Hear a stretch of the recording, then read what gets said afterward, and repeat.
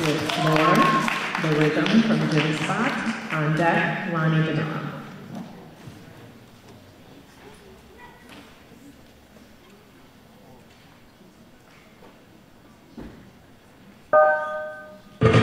Thank you.